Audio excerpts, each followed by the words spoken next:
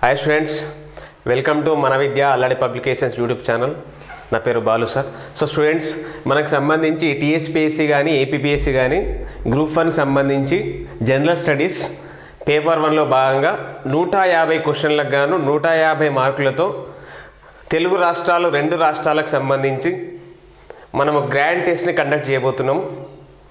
ఈరోజు అంటే twenty first జనవరి సాయంత్రం ఐదు గంటల వరకు ఫైవ్ పిఎం వరకు ఈ అడ్మిషన్స్ మనం రిజిస్టర్ చేసుకోవచ్చండి. రిజిస్ట్రేషన్ ఫీ అనేది కేవలం ట్వంటీ రూపీస్ మాత్రమే.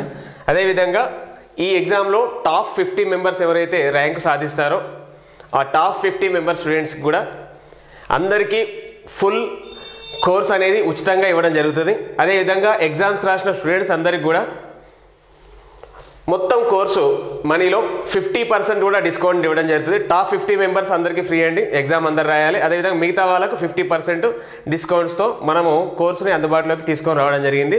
సో మీరు రిజిస్ట్రేషన్ చేసుకోండి. అదేవిధంగా ఎగ్జామ్ రాయండి. ఎగ్జామ్ అనేది సండే అంటే రేపు ఈవినింగ్ సిక్స్ పిఎం నుంచి ఎయిట్ థర్టీ వరకు అండి. అంటే one fifty questions one fifty marks one fifty minutes ఈ అవకాశాన్ని అందరూ ఉపయోగించుకోండి.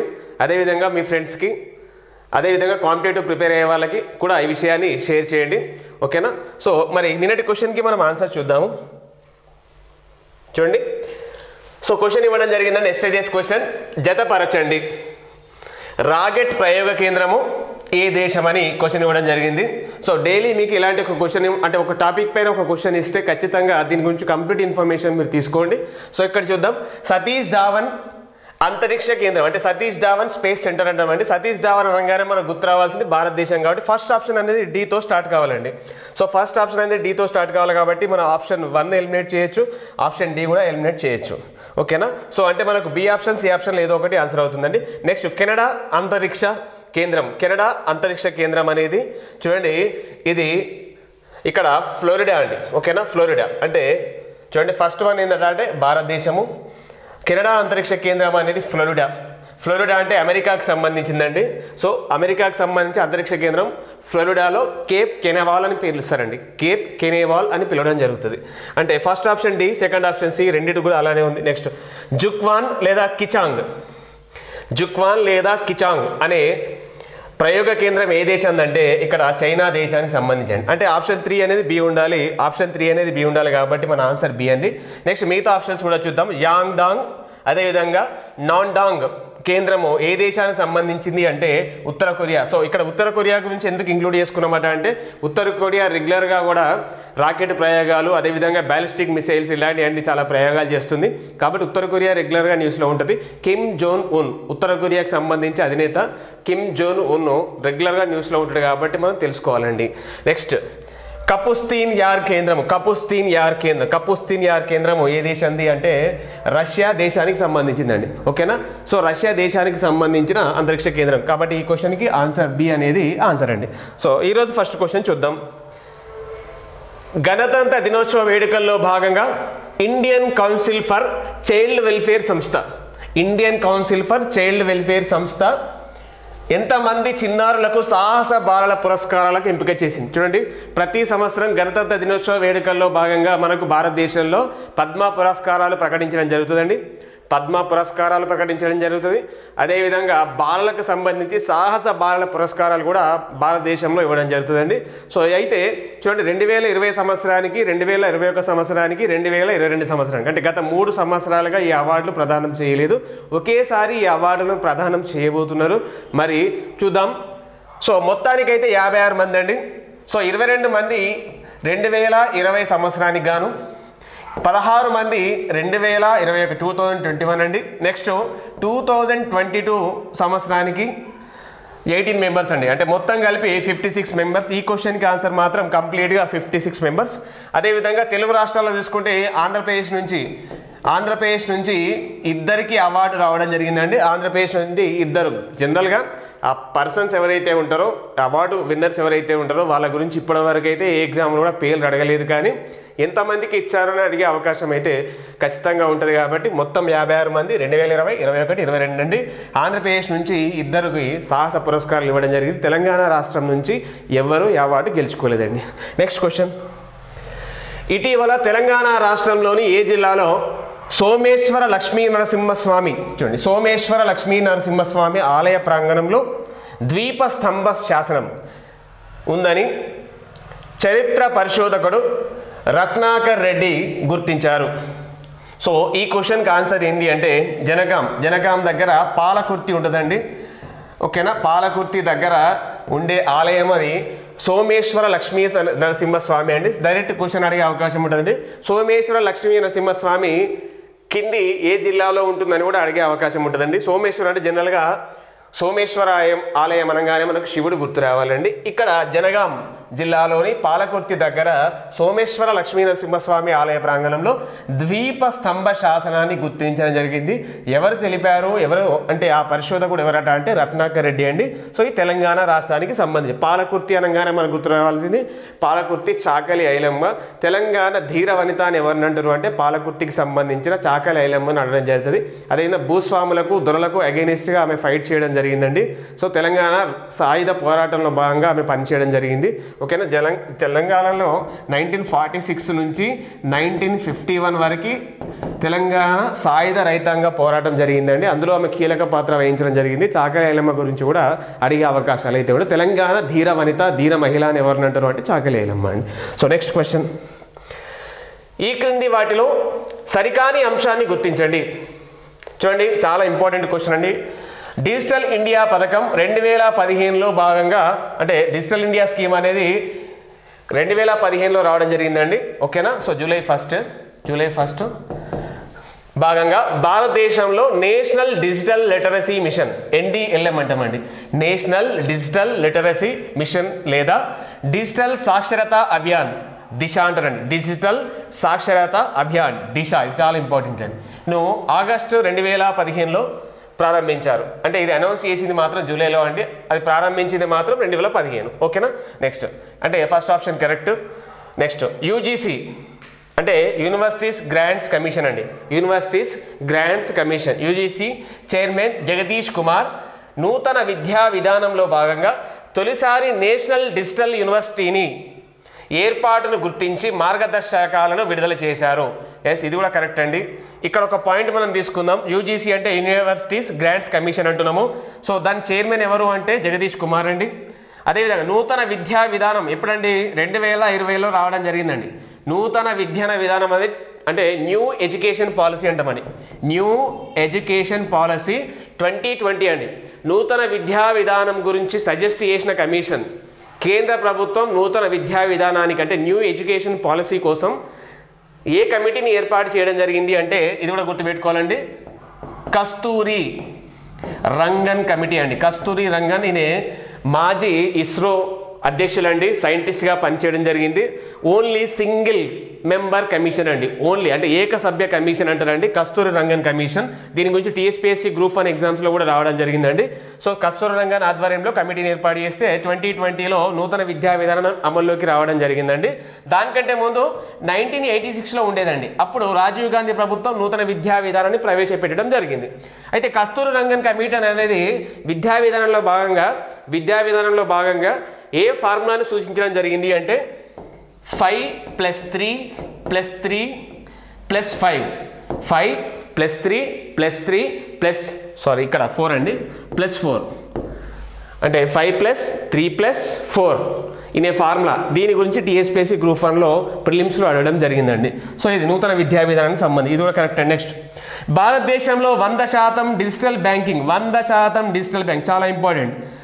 స్టేట్స్గా కేరళ తమిళనాడు తెలంగాణ నిలిచాయి. చూడండి ఓన్లీ కేరళ మాత్రమే నిలిచిందండి. తమిళనాడు కానీ తెలంగాణ కానీ వంద శాతం డిజిటల్ బ్యాంకింగ్ స్టేట్ కాదు. ఓన్లీ కేరళ మాత్రమే. కాబట్టి ఇది తప్పు. Next sky hawk sky hawk ఇండియాలో మొదటి ఫైవ్ జీ చూడండి ఫైవ్ జీ సేవల ఆధారిత డ్రోను. వీర్ సురేంద్ర సాయి యూనివర్సిటీ. చూడండి వీర్ సురేంద్ర సాయి యూనివర్సిటీ అనేది ఛత్తీస్గఢ్ స్టేట్లో ఉంటుందండి. ఛత్తీస్గఢ్ స్టేట్లో ఉంటుంది. ఓకేనా? వీర్ సురేంద్ర సాయి యూనివర్సిటీకి చెందిన startup company. Startup company IG drones వారు రూపొందించారు. ఓకేనా? ఫైవ్ జీకి సంబంధించి స్కైహాక్ అనే సంస్థ ఐజీ పేరిట డ్రోన్స్ని రూపొందించడం జరిగిందండి. సో ఇది కూడా కరెక్ట్ అండి. ఇక్కడ సరికాని అంశం అన్నాడు కాబట్టి ఆప్షన్ త్రీ సరికాదు కాబట్టి ఈ క్వశ్చన్కి ఆన్సరు ఈ క్వశ్చన్కి ఆన్సరు థర్డ్ ఆప్షన్ అండి. ఆన్సర్ థర్డ్ ఆప్షన్ అవుతుంది. ఓకేనా? ఒక్కసారి ఇక్కడ కనుక అబ్జర్వ్ చేస్తే మరి డిజిటల్ ఇండియా అనే స్కీమ్ ఎందుకు ఇచ్చారంటే ఇండియా మాత్రం డిజిటల్ మొత్తం అంటే కంప్లీట్గా ఆన్లైన్ సిస్టమ్ రావాలనండి. డిజిటల్ ఇండియా స్కీమ్ను నరేంద్ర మోడీ ప్రభుత్వాన్ని తీసుకొని రావడం జరిగిందండి. టెక్నాలజీలో ఇంప్రూవ్మెంట్ కోసం ప్రపంచంలో ఒక అద్భుతమైన డిజిటల్ టెక్నాలజీగా ప్రపంచంలో ఎదగాలనే ఉద్దేశంతో ఈ స్కీమ్ తీసుకొని రావడం జరిగింది. నెక్స్ట్ దీంట్లో భాగంగా చూసుకున్నట్లయితే మరి డిజిటల్ లిటరసీ అంటే ఏంటంటే డిజిటల్ అక్షరాస్యత అంటామండి. ఓకేనా డిజిటల్ లిటరసీ అంటే ఒక వ్యక్తి సాధారణ కంప్యూటర్ పరిజ్ఞానం అదేవిధంగా సాధారణంగా డిజిటల్ ట్రాన్సాక్షన్స్ చేసే మినిమం నాలెడ్జ్ ఏదైతే ఉంటుందో దానిని డిజిటల్ లిటరసీ అంటామండి.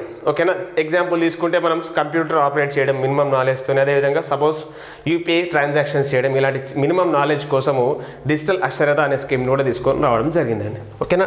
నెక్స్ట్ క్వశ్చన్ సరికాని అంశాన్ని గుర్తించండి. చూడండి రీసెంట్గా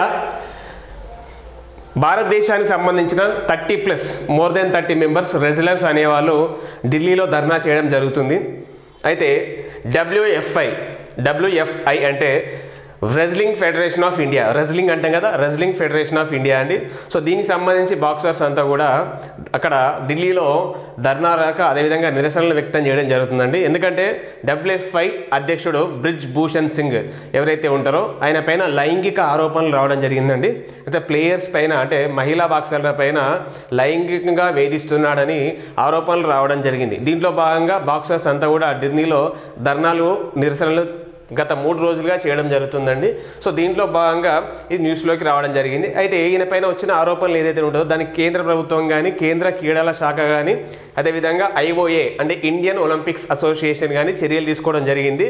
అయితే అతన్ని తొలగించలేదు కానీ అతని పైన వచ్చిన ఏవైతే ఆరోపణలు ఉన్నాయో వాటిని విచారించడానికి భారత దిగ్గజ బాక్సర్ అంటే legendary boxer MC Mary Kom అంటామండి. సింపుల్గా మేరీ కోమ్ ఆధ్వర్యంలో ఏడుగురు సభ్యులతో ఒక కమిటీని ఏర్పాటు చేయడం జరిగింది.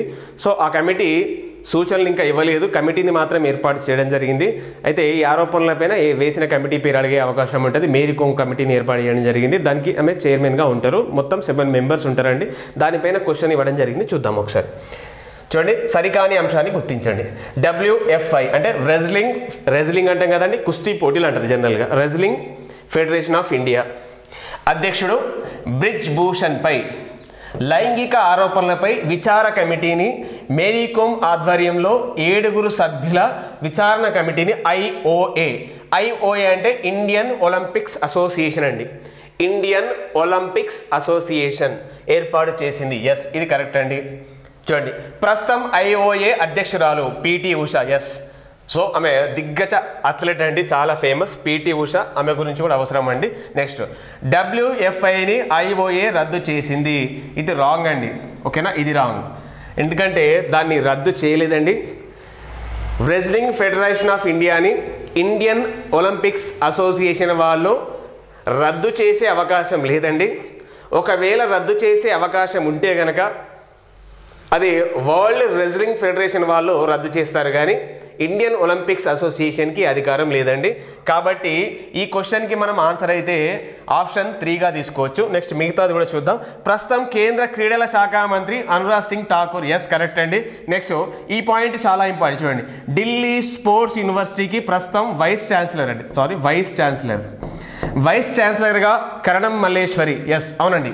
సో ఢిల్లీ యూనివర్సిటీ ఢిల్లీకి సంబంధించి ఢిల్లీ స్పోర్ట్స్ యూనివర్సిటీ ఏదైతే ఉంటుందో దానికి ఇక్కడ ఛాన్సలర్గా ఎవరు పనిచేస్తున్నారు అంటే కరణం మల్లేశ్వరి అండి. ఓకేనా ఈమె ఈమె వెయిట్ లిఫ్టర్ అండి. కరణం మల్లేశ్వరి వెయిట్ లిఫ్టర్ అండి. సిడ్నీ ఒలింపిక్స్ టూ థౌజండ్లో ఈమె కాంస్య పథకం గెలవడం జరిగిందండి. సిడ్నీ ఒలింపిక్స్ టూ థౌజండ్ ఇయర్లో కాంస్య పథకం గెలవడం జరిగిందండి. సో కరణం మల్లేశ్వరికి అక్కడ పనిచేయడం జరుగుతుందండి. ఓకేనా? ఈ క్వశ్చన్కి third option answer. Next question.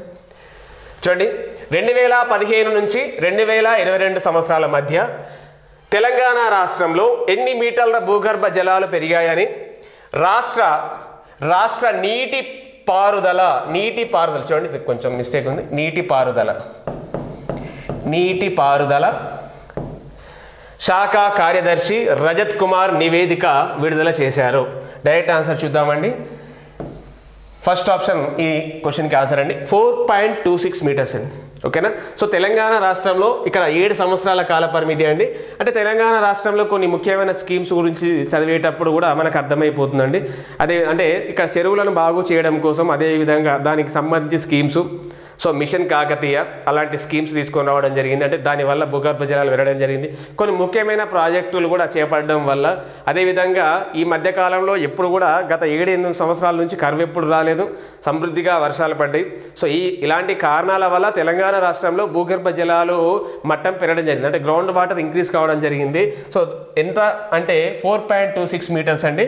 So ఇది ఎవరు విడుదల చేశారంటే తెలంగాణ రాష్ట్రానికి సంబంధించి నీటిపారుదల శాఖ కార్యదర్శి రజత్ కుమార్ అండి. దీనికి ఆన్సర్ ఫస్ట్ ఆప్షన్ అండి. నెక్స్ట్ క్వశ్చన్ జాతీయ గణాంక శాఖ విడుదల చేసిన జాతీయ స్థూల విలువ జోడింపు జిఎస్వి ఓకేనా?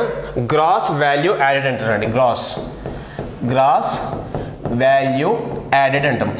యాడెడ్ ఓకేనా? యాడెడ్ సంబంధించి సరికాని అంశాన్ని గుర్తించండి. సరికాని అంశాన్ని గుర్తించాలండి. ఓకేనా? సరికాని అంశం అంటున్నాం. ఓకే చూడండి. జీవీఏలో అంటే gross value యాడెడ్లో Gujarat fifteen point eight five శాతం ప్రథమ స్థానంలో ఉంది. ఎస్ ఇది కరెక్ట్ అండి. తర్వాతి స్థానాల్లో Maharashtra fourteen point five three percentage Tamil Nadu eleven point zero four పర్సెంటేజ్తో చూడండి. కొంచెం చూసుకో. దిస్ ఈజ్ రాంగ్ తర్వాతి స్థానంలో నిలవడం జరిగిందండి. ఎస్ ఇది కరెక్ట్ అండి. Next జీవేలో Telangana three point eight seven పర్సెంటేజ్తో తొమ్మిదవ స్థానం Andhra Pradesh three point four eight పర్సెంటేజ్తో పదవ స్థానంలో నిలిచాయి.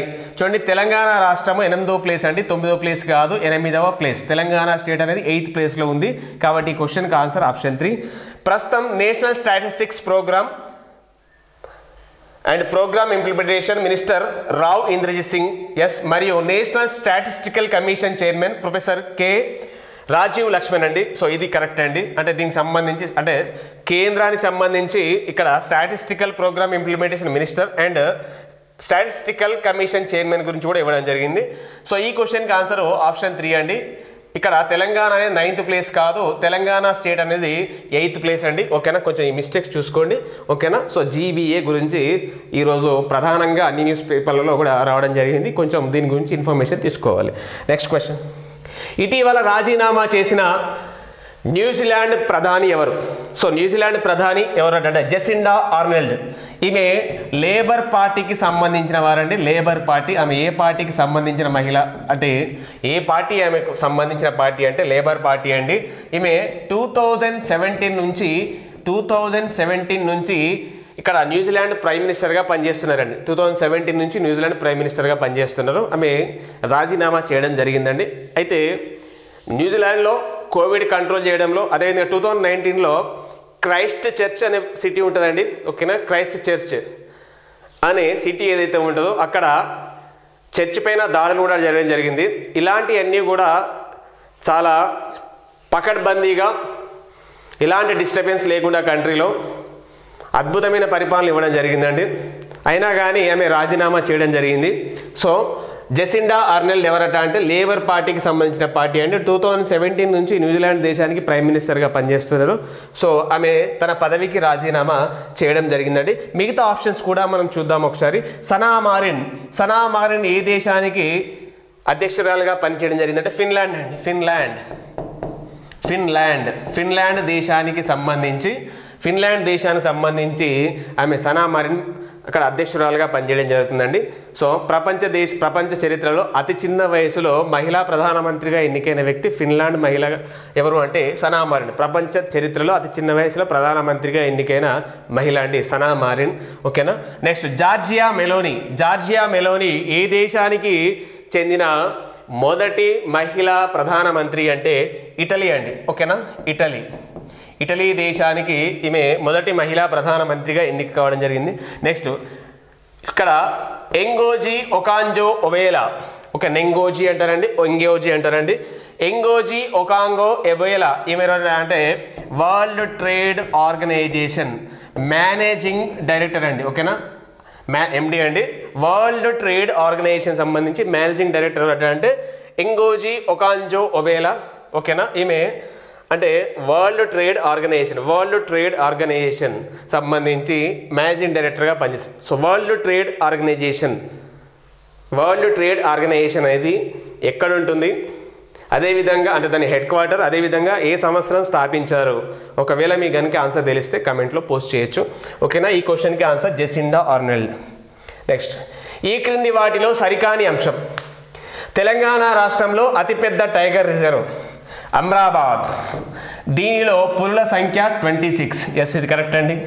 నెక్స్ట్ ఇటీవల రాష్ట్ర అటవీ శాఖ tiger book of Amrabad tiger reserve. Tiger book of Amrabad tiger reserve పేరుతో టేబుల్ బుక్ని విడుదల చేసింది. ఎస్ కరెక్ట్ అండి. నెక్స్ట్ అమ్రాబాద్ రాణిగా Farha Farha five F six అంటారండి. ఫర్హా ను పిలుస్తారు. ఎస్ కరెక్ట్ అండి. అమ్రాబాద్ ఫారెస్ట్ నాగర్ కర్నూల్ నల్గొండ జిల్లాలో వ్యాపించి ఉంది. ఎస్ ఇది కరెక్ట్ అండి. నెక్స్ట్ వెళ్దాం ప్రస్తుతం భారతదేశంలో టైగర్ రిజర్వ్ల సంఖ్య యాభై ఎనిమిది కాదు. ప్రస్తుతం యాభై మూడు ఉందండి. ఓకేనా? సో చివరిది రామ్ఘరి విషిదారి. చివరిది రామ్ఘరి విషిదారి అనేది రాజస్థాన్ రాష్ట్రంలో ఉండడం జరిగిందండి. సో భారతదేశానికి సంబంధించి ఇక్కడ టైగర్ రిజర్వ్స్ గురించి కూడా మనకు పూర్తి సమాచారం తెలిసి ఉండాలండి. ఒక టైగర్ రిజర్వ్ పేరిచ్చి ఏ దేశానికి సంబంధించిన టైగర్ రిజర్వ్ని అడగొచ్చండి. ఓకేనా? చూద్దాం మరి ఇక్కడ. సో తెలంగాణ రాష్ట్రంలో అతిపెద్ద టైగర్ రిజర్వ్ అంటున్నామండి అమ్రాబాద్. ఇది దీనికి సంబంధించిన ఇన్ఫర్మేషన్ టైగర్స్ ఇరవై ఆరు అంటున్నాం. మరి భారతదేశంలో ప్రస్తుతం ఉన్న టైగర్స్ కౌంట్ ఏంటంటే అంటే రెండు వేల తొమ్మిది వందల అరవై ఏడు అండి. మరి టైగర్ సెన్సెస్ ఎవరు కలెక్ట్ చేస్తారట అంటే కేంద్ర చూడండి కేంద్ర సంబంధించి కేంద్ర అటవీ శాఖకు సంబంధించి టైగర్ సెన్సెస్ సంబంధించి ఎన్టీసీఏ వాళ్ళండి. ఓకేనా? నేషనల్ టైగర్ కన్జర్వేషన్ అథారిటీ వాళ్ళు టైగర్ సెన్సెస్ని కండక్ట్ చేయడం జరుగుతుందండి. ఎవ్రీ ఫోర్ ఇయర్స్ నాలుగు సంవత్సరాలకు ఒకసారి కౌంట్ చేయడం జరుగుతుంది. ప్రస్తుతం భారతదేశంలో టైగర్ సంఖ్య టూ నైన్ సిక్స్ సెవెన్ అండి. మరి ఎన్సిటిఏ అనేది ఎవరి ఆధ్వర్యంలో పనిచేస్తుంది అంటే భారత ప్రధానమంత్రి ఆధ్వర్యంలో పనిచేస్తుంది. భారతదేశంలో టైగర్కి సంబంధించి సెన్సెస్ ఎప్పటి నుంచి కండక్ట్ చేస్తున్నారు అంటే రెండు వేల ఐదు నుంచి అండి ఓకేనా? టైగర్స్ సెన్సెస్ అనేది రెండు వేల ఐదు నుంచి కండక్ట్ చేయడం జరుగుతుందండి. అదేవిధంగా చూడండి మన దేశంలో వన్యప్రాణి సంరక్షణ చట్టం అనేది ఒక wildlife protection act wildlife protection act అనేది నైన్టీన్ సెవెంటీ టూలో రావడం జరిగింది. అదేవిధంగా ప్రాజెక్ట్ టైగర్ అనేది ఓకేనా? ప్రాజెక్ట్ ప్రాజెక్ట్ టైగర్ అనేది నైన్టీన్ సెవెంటీ త్రీలో ప్రాజెక్ట్ టైగర్ స్కీమ్ అనేది రావడం జరిగిందండి. అంటే పులుల సంరక్షణ కోసం నైన్టీన్ సెవెంటీ త్రీలో ప్రాజెక్ట్ టైగర్ తీసుకొని రావడం జరిగిందండి. So tigers day tigers tigers day ఎప్పుడు అంటే పుల్ల దినోత్సవము జూలై ఇరవై తొమ్మిది అండి జూలై ఇరవై తొమ్మిది టైగర్స్ డేగా మనము జరుపుకోవడం జరుగుతుందండి. అదేవిధంగా టైగర్ స్టేట్ ఓకేనా? Tiger state. టైగర్ స్టేట్ ఏ స్టేట్ అంటే మధ్యప్రదేశ్ అదేవిధంగా భారతదేశంలో అత్యధికంగా పులులు ఏ దేశంలో ఏ రాష్ట్రంలో ఉంటాయంటే మధ్యప్రదేశ్ అండి. ఓకేనా? ఫైవ్ ట్వంటీ సిక్స్ ఓకేనా? ఫైవ్ ట్వంటీ సిక్స్ అండి. మొదటి tiger reserve Jim Corbett tiger reserve అండి.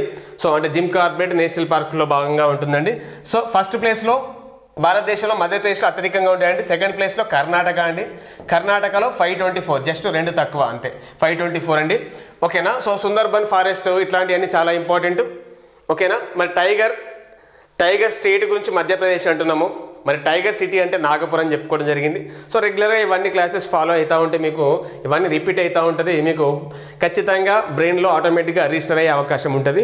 సో మొత్తము టైగర్స్ గురించి టైగర్ సెన్సెస్ గురించి అదేవిధంగా ప్రాజెక్ట్ టైగర్ గురించి ఇండియాలో ఉండే టైగర్స్ గురించి టైగర్ రిజర్వ్స్ గురించి మొత్తం కంప్లీట్ ఇన్ఫర్మేషన్ మనకు తెలిసి ఉండాలండి. ఖచ్చితంగా వన్ మార్క్ అడిగే అవకాశం అయితే డెఫినెట్గా ఉంటుంది. Next question India the Modi question పేరిట డాక్యుమెంటరీని రూపొందించిన సంస్థ. డైరెక్ట్ ఆన్సర్ చూద్దామండి. బీబీసీ ఓకేనా? సో బ్రిటిష్ బ్రాడ్కాస్ట్ కార్పొరేషన్ అండి. బ్రిటిష్ బ్రాడ్కాస్ట్ కార్పొరేషన్ బీబీసీ వాళ్ళు నరేంద్ర మోడీపై ఒక డాక్యుమెంటరీని రూపొందించడం జరిగింది. ఇండియా ది మోదీ క్వశ్చన్ అని. అయితే ఇది వివాదాస్పదం కావడం జరిగిందండి. అంటే భారతదేశంలో స్ట్రీమింగ్ కావట్లేదు. ఓకేనా? ఇప్పటివరకు భారతదేశంలో స్ట్రీమింగ్ కాలేదు. కాకపోతే ఇది వివాదాస్పదం కావడం జరిగిందండి. కేంద్ర ప్రభుత్వం దీనిపైన అభ్యంతరం కూడా తెలపడం జరిగింది. కాబట్టి ఇది కాంట్రవర్సీ అండ్ రీసెంట్ ఇష్యూలో ఉంది కాబట్టి ఇంపార్టెంట్ ఇది దట్టు భారత ప్రధానమంత్రి పైన కాబట్టి ప్రైమ్ మినిస్టర్ పైన వచ్చిన ఒక డాక్యుమెంటరీ కాబట్టి డెఫినెట్లీ అడిగే అవకాశం ఉంది. దాని పేరు అదేవిధంగా ఇది రూపొందించిన సంస్థ గురించి కూడా అడిగే అవకాశం ఉంది.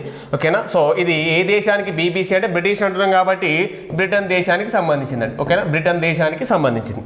ఓకేనా? సో అదే ఈ క్వశ్చన్కి ఆన్సర్ అండి. నెక్స్ట్ క్వశ్చన్ ఢిల్లీ మహిళా కమిషన్ చైర్మన్.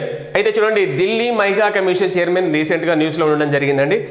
అయితే మహిళా కమిషన్ మహిళా హక్కుల కోసము పనిచేయడం జరుగుతుందండి. సాధారణంగా మహిళా హక్కుల కమిషన్ ఏర్పడ్డది నైన్టీన్ నైంటీ అండి. ఓకేనా? సో మహిళా మహిళల హక్కుల పరిరక్షణ చట్టం. చూడండి. మహిళల హక్కుల పరిరక్షణ చట్టం పరిరక్షణ చట్టం. నైన్టీన్ నైంటీ ప్రకారం భారతదేశంలో మహిళా కమిషన్ అనేది అంటే ఉమెన్స్ కమిషన్ ఏదైతే ఉంటుందో నేషనల్ ఉమెన్స్ కమిషన్ అనేది national women's commission. Nineteen ninety two నుంచి ఇది పని చేయడం ప్రారంభించింది అండి. నైన్టీన్ నైంటీ టూ నుంచి.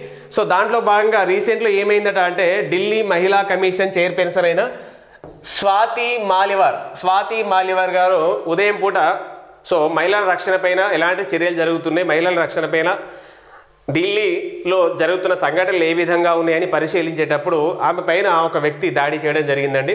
అంటే దేశవ్యాప్తంగా ఒక మహిళా కమిషన్ చైర్పర్సన్కి ఒక రాష్ట్రానికి సంబంధించిన మహిళా కమిషన్ చైర్పర్సన్కి ప్రొటెక్షన్ లేకుండా పోయిందని ఒక అన్ని న్యూస్ పేపర్లో రావడం జరిగింది కాబట్టి ఆమె న్యూస్లోకి రావడం జరిగింది. అదేవిధంగా మహిళా కమిషన్ కూడా న్యూస్లోకి రావడం జరిగింది. అంటే ఇలాంటి ఇష్యూస్ వచ్చినప్పుడు ఖచ్చితంగా మనం స్పెషల్గా దాన్ని చూడడం తెలుసుకోవాలండి. కాబట్టి ఇక్కడ ఆన్సర్ స్వాతి మలివార్. మరి మిగతా వాళ్ళ గురించి కూడా చూద్దాం మనం.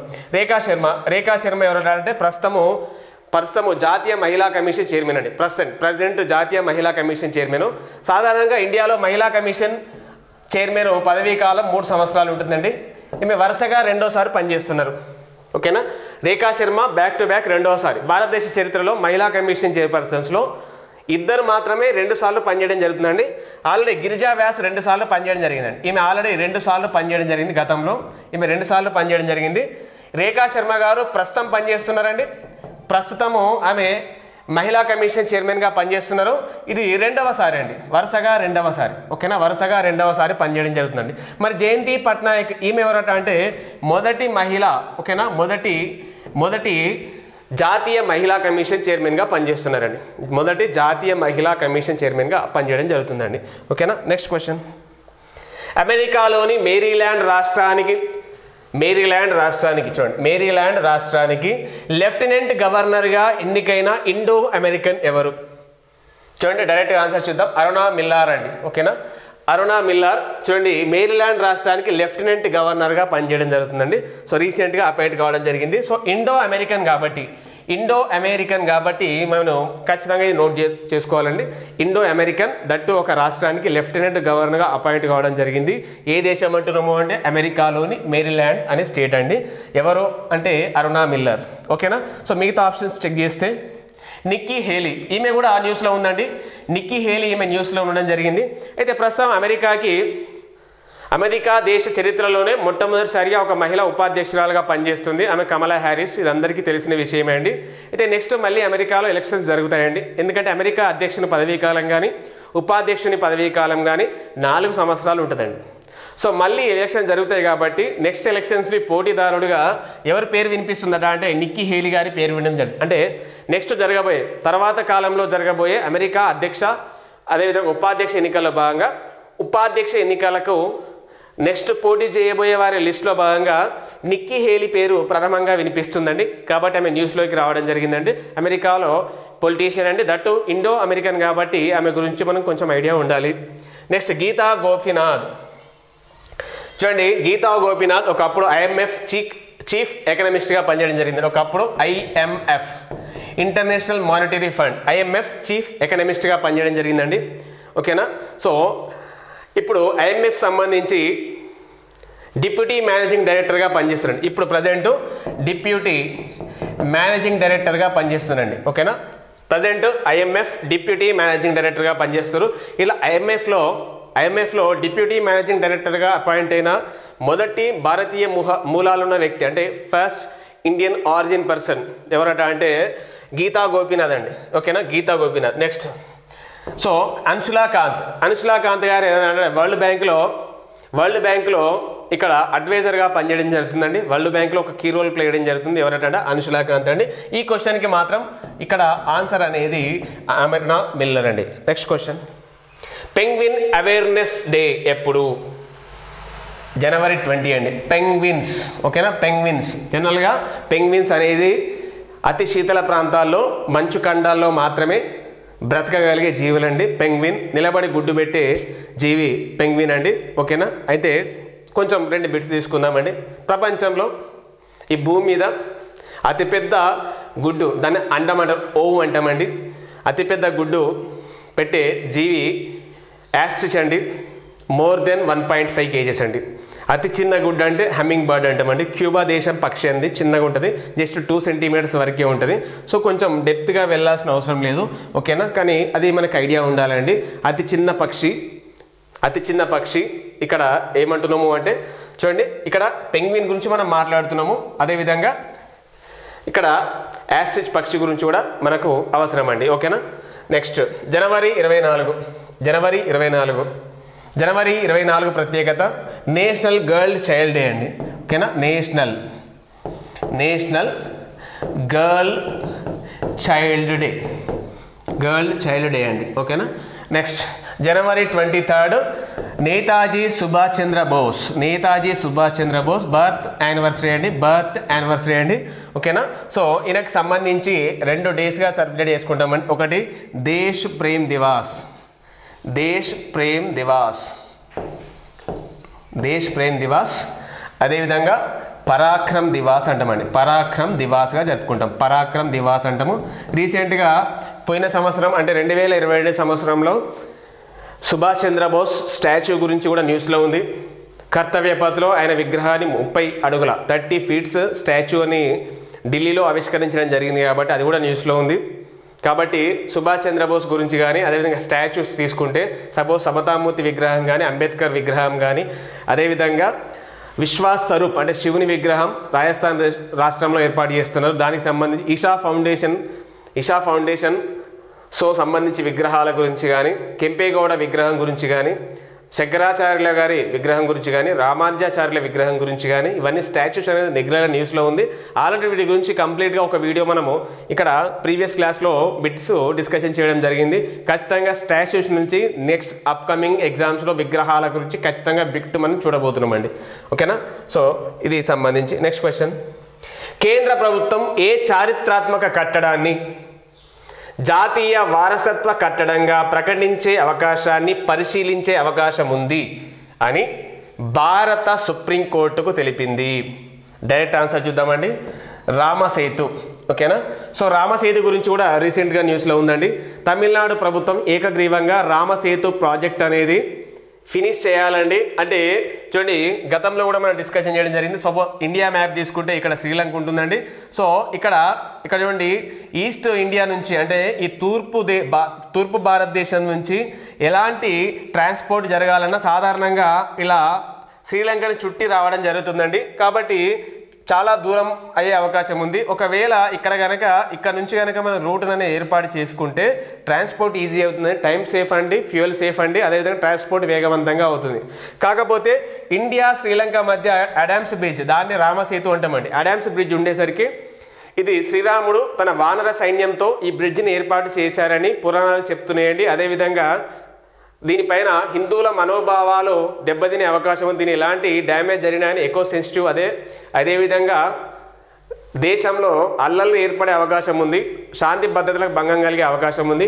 హిందువుల సంబంధించిన మనోభావాలు దెబ్బతినే అవకాశం ఉంది కాబట్టి ఇప్పటి వరకు రామసేతుకు సంబంధించి ఎలాంటి డ్యామేజ్ చేసే అవకాశం కానీ ఎలాంటి ప్రాజెక్టు కానీ చేపట్టలేదు. కాకపోతే ఇక్కడ ఇండియాకు శ్రీలంకకు మధ్యలో ఉన్న రామసేతు దాంట్లో కొద్దిగా మార్పులు చేసి అక్కడ నుంచి ట్రాన్స్పోర్ట్కి అవకాశం ఉండే విధంగా ఒక నిర్మాణాన్ని చేపట్టాలని తమిళనాడు ప్రభుత్వం ఏకగ్రీవంగా ఆమోదించడం జరిగిందండి. అన్ని రాష్ట్ర అన్ని అన్- అక్కడ సం- తమిళనాడు రాష్ట్రానికి సంబంధించి అన్ని పార్టీలు కూడా దీనికి ఏకగ్రీవంగా ఆమోదం తెలపడం జరిగింది. సో భారత ప్రభుత్వం కూడా దీనిపైన నిర్ణయం తీసుకునే అవకాశం ఉంది. భారత ప్రభుత్వం కూడా దీనికి సానుకూలంగా ఉంది. ఎందుకంటే దేశ ప్రయోజనాల దృష్ట్యా దీని నిర్మాణం చేసే అవకాశం ఉంది. అది అందుకో న్యూస్లో ఉంది.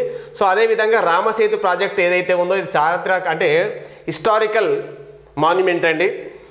వారసత్వ కట్టడం అంటే జాతీయ వారసత్వ కట్టడం అంటే నేషనల్ హెరిటేజ్ మాన్యుమెంట్ ప్రకటించే అవకాశం ఉందని సుప్రీంకోర్టుకు తెలపడం జరిగింది. అయితే కేంద్రంలో మాజీ ఎంపీ సుబ్రహ్మణ్య స్వామి అని ఒక ఆయన ఉంటాడండి. చాలా ఫేమస్ పర్సన్ ఎందుకంటే జయలలితకు సంబంధించిన ఆస్తుల కేసు కూడా కోర్టులో కేసు వేసిన వ్యక్తి ఆయనే సుబ్రహ్మణ్య స్వామి. బీజేపీ మాజీ ఎంపీ అండి. అదేవిధంగా ఇక్కడ రామసేతు పైన కూడా సుప్రీంకోర్టులో PIL PIL public interest litigation public interest litigation ప్రజా ప్రయోజన వ్యాజ్యాన్ని వేస్తే కేంద్ర ప్రభుత్వం ఆ పిల్కి ఆన్సర్గా రామసేతు ప్రాజెక్ట్ని జాతీయ వారసత్వ కట్టడంగా గుర్తించే అవకాశాన్ని పరిశీలిస్తున్నట్టు చెప్పడం జరిగింది. నెక్స్ట్ ఇక్కడ చూద్దాం. భారత సుప్రీంకోర్టు అనగానే మనకు గుర్తు రావాల్సిన ఆర్టికల్ వన్ ట్వంటీ ఫోర్ అండి. Supreme court article article one twenty four.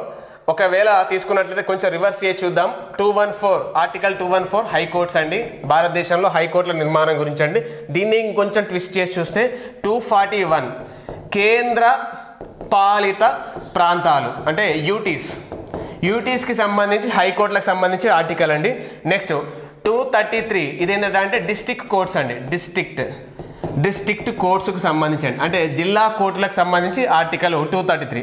One twenty four two one four two forty one. Next two thirty three. ఈ మూడు ఆర్టికల్స్ ఇంపార్టెంట్ అండి. నెక్స్ట్ చూద్దాం. హంపీ కట్టడాలు. మరి హంపీ కట్టడాలు ఎక్కడ ఉంటాయంటే కర్ణాటక స్టేట్లో అండి. కర్ణాటక స్టేట్లో. అయితే ఇప్పటివరకు భారతదేశంలో మొత్తము యునెస్కో వరల్డ్ హెరిటేజ్ సైట్స్. భారతదేశంలో UNESCO world head site sites అనేది ఫార్టీ ఉన్నాయండి. థర్టీ నైన్ రామప్ప టెంపుల్ అండి. ఫార్టీ అనేది దోలవీర. ఇది సింధు నాగరికతలో భాగంగా ఒక ప్రదేశం అండి. ఇది గుజరాత్ రాష్ట్రంలో ఉంటుంది. ఇవి రెండు కూడా యునెస్కో వరల్డ్ హెరిటేజ్ సైట్లో థర్టీ నైన్ ఫార్టీ అండి. అంటే ఇప్పటివరకు భారతదేశంలో యునెస్కో వరల్డ్ హెరిటేజ్ సైట్ మొత్తం నలభై ఉన్నాయండి. గతంలో UNESCO world heritage site Hampi కట్టడాలు కూడా ఇవ్వడం జరిగిందని కర్ణాటకలో ఉంటుంది.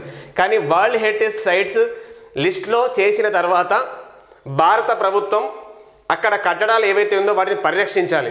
కాకపోతే ఈ హంపి కట్టడాలు ఎలాంటి చర్యలు తీసుకోలేదు కాబట్టి దాన్ని ఆ లిస్ట్ నుంచి తొలగించడం జరిగింది.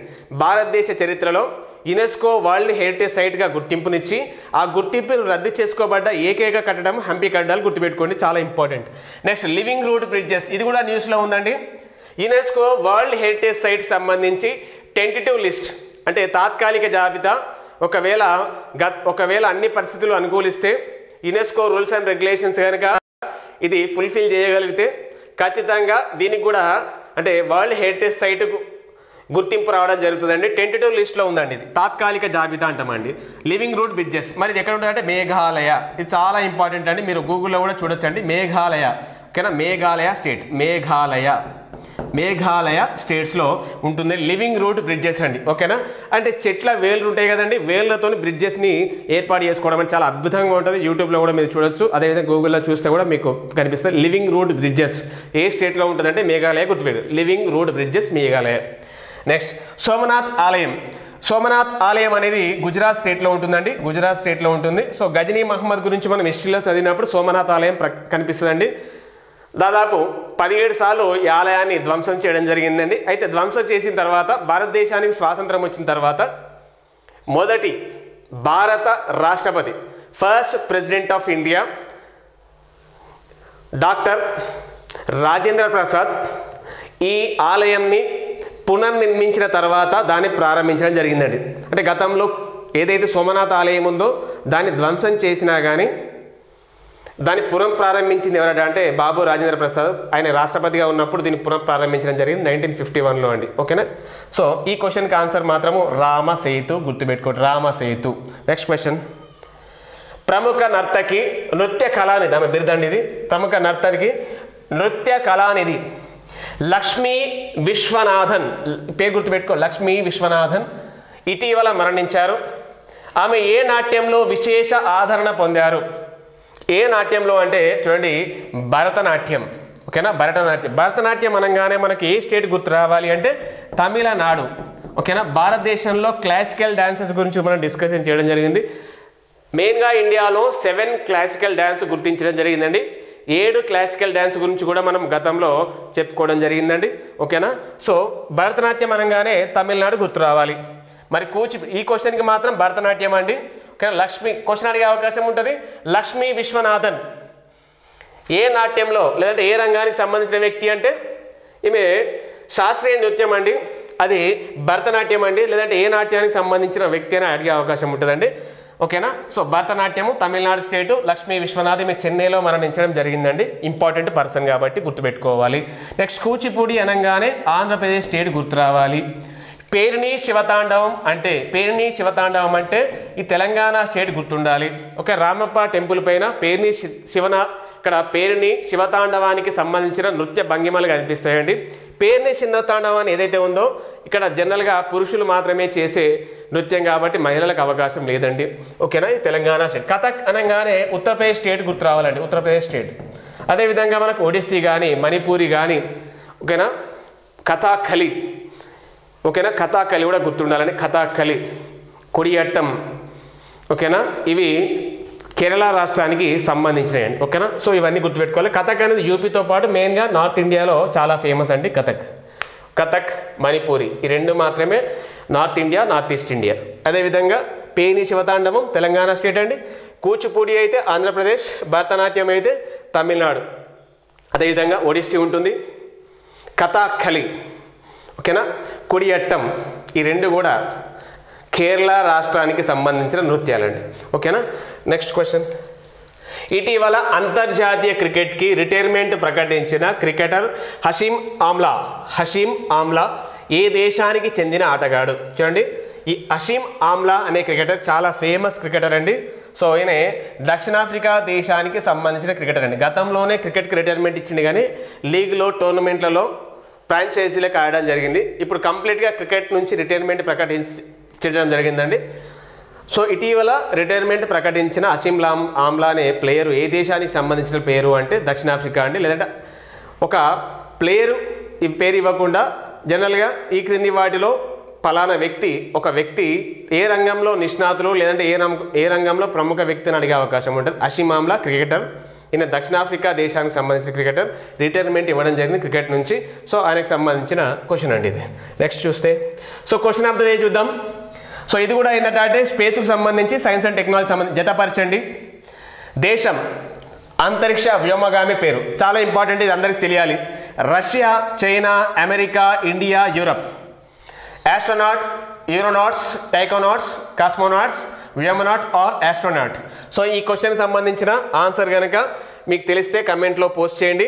ఓకేనా నెక్స్ట్ స్క్రీన్ షాట్ తీసుకొని ఈ క్వశ్చన్ మీరు నోట్ చేసుకోండి. Okay thank you thanks for watching